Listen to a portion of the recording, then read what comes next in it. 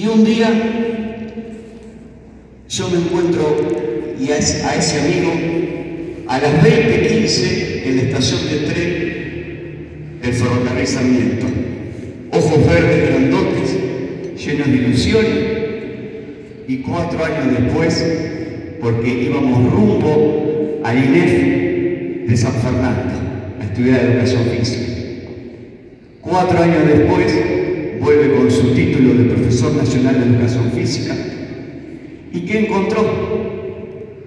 Puertas abiertas, brazos abiertos de este querido CES 40. Primero de la mano de Olga y después de la mano de Vichy. ¿Qué fue lo que pasó? No teníamos techo, nos dejaron crecer, nos dejaron volar. Pablo se desarrolló como profe de educación física infantil primero, después dio gimnasia deportiva hasta que encontramos y encontró él los aprendizajes en vida en la naturaleza.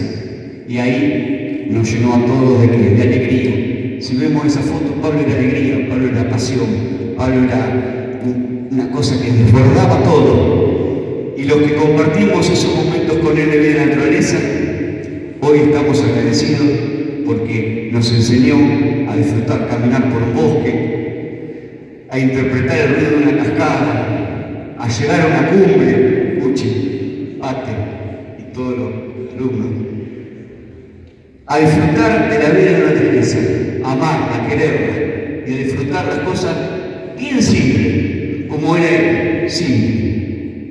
Por eso, los niños, jóvenes y adultos que este gimnasio, que aprenderán, se apropiarán del juego, del movimiento, del deporte, con estos excelentes profesores que tiene el CEF, que tuvo, que tiene y que tendrá el CEF 40, va a ser la mejor forma que lo vamos a homenajear y honrar. Gracias, amigo, gracias, profesor Pablo Orienza, merecido y por suerte el cartelito está afuera porque el techito del cielo lo va a